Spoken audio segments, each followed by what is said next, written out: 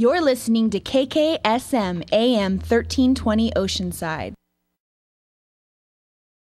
And we're back on your morning drive. I'm Chorus Nylander, taking you up till 12 o'clock with the best variety of alternative and pop music in all of beautiful San Diego. And on the phone, I'm joined by the one, the only Jim Brickman. Jim, how are you doing this morning? Doing good. Thanks for having me it's such a pleasure to have you. It really is such an honor. You're such an amazing artist. Where? You, what part of the country are you calling us from today? I am in my hometown of Cleveland, Ohio. Oh, I always hear about that town. How how has that town influenced your uh, your music?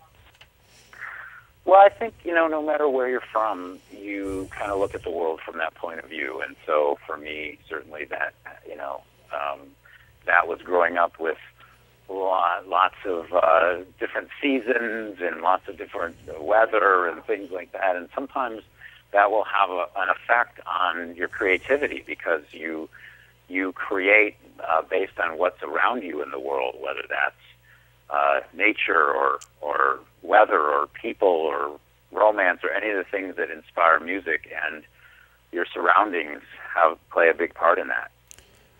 And you make such wonderful music. And this is actually a great year for you. It's your 20th anniversary of your debut album, No Words. Congratulations. That's really amazing. How are you celebrating that milestone? Well, you know, it's it's always interesting to, to look back because when you're when you're on the journey through those 20 years, you don't you don't really notice it because you're always just doing it, you know, and and while it's happening, it's it's not you're not really conscious of the fact that it's been such a, a long time. So um, it's it's nice to be reflective. I think all of us uh, appreciate you know, looking back on um, on our lives and thinking about you know how we spent our time and who we spent our time with, and and so you know it's sort of a reflective time, I guess, more than anything. And how do you feel you've evolved as a music artist over the past twenty years? Well, I think being um, authentically who you are makes a big difference. In other words, um, trusting that that you're really writing from your heart and that you're not trying to be something that you're not. I think uh, a, a lot of times we, especially when I first started, uh, there were a lot of people around. You know, everybody has an opinion, so everybody wants to tell you oh, you know, you sh- you know what you should do? You should do this, or you should do you should work with this singer or that singer. And a lot of times, it's important to trust yourself and say, yeah, but what what really comes naturally to me? And if you're if you trust that instinct and that gut feeling about about how you should spend, at least as you know, from my point of view as a musician, um, that's that's helped me quite a bit because otherwise you're you're not authentically uh, who you are. You're doing something that somebody else wants, and that never really comes out good. So, I think I think trusting myself is one of the biggest things that uh, I've learned over this time. Is um, you have to do what comes naturally to you. As soon as you do that, that's the first thing people notice about you, and then it's uh, and then it's really real because it's not you're not faking it. Definitely, and your music has really touched, I believe, so many people's lives. A lot of people get married to your music, and they seem to really feel a connection. And as a result of that, you've you've had much success. I mean, four albums certified gold by the Recording Industry of America, as well as 27 top 40 singles on adult contemporary charts. 14 of those which went up to top 10 smashes and two Grammy nominations. That's really amazing. Do you have a particular accomplishment you cherish most? You know, um, honestly, the, the reaction of people where where the where the music touches someone in an intimate way, whether it's a whether it's a, a special moment like a wedding, or whether it's a comforting time, or whether it's a relaxing time, any any effect that something that I create has on uh, in a positive way with somebody to me is more of an accomplishment than any award, and you know, it's uh, award recognition is is is important um, within colleagues and industry, but but really the reason that I make music is to connect with people emotionally, and so um, that's that really is the the most gratifying. And you do a great job of that. Your music is very emotional and is very romantic. Well, thank you, Chorus. Thanks so much, Jim. I wish I had a cool name like Chorus, though. That would I would probably have a a uh, a bigger career if I had a cooler name like Chorus. Thanks so much, Jim. I, I, do love my name. That is a great name. But you have a great name too, Jim Brickman. I mean, and uh, going back even before the tw- 20 years, uh, what was your first big break in music, so to speak?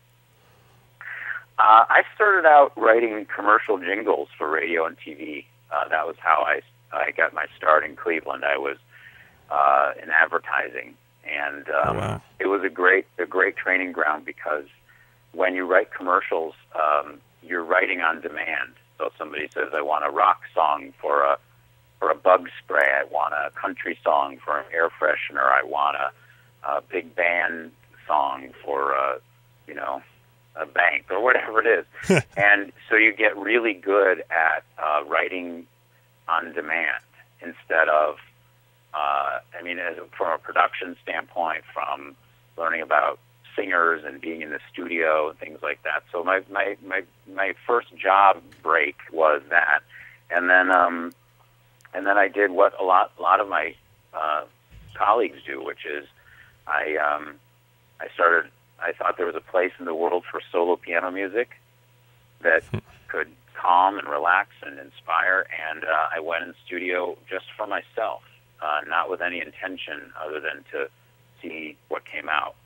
And I took those uh, that CD around to record companies, 30 maybe at the time, 30, 40 labels, um, and um, I got signed by Windham Hill. Um, most most of the time, it, the break was about creating the opportunity, and I think that's the most important message, especially um, today when when um, a lot of things like The Voice or American Idol um, sort of imply that all you have to do is stand in line to audition to become famous instead of just go out there and do it. And did did you ever believe you would become as as big and successful as your career has? Uh, I, I you certainly can't predict the future, so you never you never know what what life is is going to bring. And um, I, like I said before, you know, you're you're always so kind of busy in it and um, and having it evolve that it's um, you don't really notice, you know, what it becomes. Yeah. You just because you're always just doing the work, you know, and um, so I'm very thankful, and I and I wouldn't trade it for anything. It's been amazing but um, it, yeah, definitely unexpected. And uh, what what other music artists have influenced you and your style of playing? You know, it's a really uh, it's a really funny thing. I um, you know, I'm I'm primarily a songwriter more than anything, and uh, I think a, a lot of people, if you ask a songwriter what influences them, they'll say, you know, they they listen to music of a certain style, but really, when you're writing your own, um, in order for it to be unique to you, it really has to come from you and not and not be uh, an imitation of something else. Otherwise, you sound like everybody else. And um, so, I was always a fan. I'm a fan of singer songwriters. I'm a fan of of um, you know a lot of early, you know, generally speaking, pop music. So I am not really a jazz aficionado. I don't I don't really listen to jazz or classical music. I'm I really listen to pop music most more than anything. Uh, because I'm a melody writer for the most part, and I'm a hook writer, and so I uh, I respond to very catchy melodies and things, and especially from being a jingle writer, um, that was that honed that skill as well. And you definitely have a very unique sound. People can tell it's your song from the first note. I hope so, because again, you know, people will come up to me and say, um, "I want to be just like you," you know, or something, and I and I always say, "No, you want to be just like you. You can you can use me as a model, but in order, if you're there's already me. So if you don't, if you know, you need to be you, and and um, have something to say in a way that is unique to you, and." uh I think that's a you know that's a, again another example that I was talking about about singers and, and some of these competition shows is that a lot of that stuff is is based on imitation, and um, it's hard to find the originality in those things because, um, especially as singers. Definitely. And you've collaborated with some of the greatest singers of probably all time, including Donny Osmond, Martina McBride, Jordan Hill. The list goes on. Do you have a particular person that is, I don't want to say your favorite, but that you just enjoy the mo- more than average collaborating with? Well, you know, you mentioned Donny. Um, you know, he was on my tour for a couple of years, so we spent a lot of time together, and that that was a very fruitful collaboration. You know, just like any duet of anything in life, whether it's sports or music, um, or any kind of collaboration, you have to feel like you grow or get something out of out of that. Um, not like you're just doing your part and walk away. Uh, most recently, I would say the highlight um, last year for me was Johnny Mathis because it was such a um, amazing thing to work with such an icon and to have him singing my song. Um, that was really a that was a big highlight, at least of the most recent collaborations. That would be a great duo. I'd love to see you guys together. And uh, not only are you mus- a musician, though, but you're also uh, do radio as well. You have your own successful syndicated radio show. Could you tell us about that? Yeah, I, I always really I'm a I'm a naturally curious person by nature, so I it's always interesting for me to interview other people and learn and grow from them. I, I'm just naturally that way.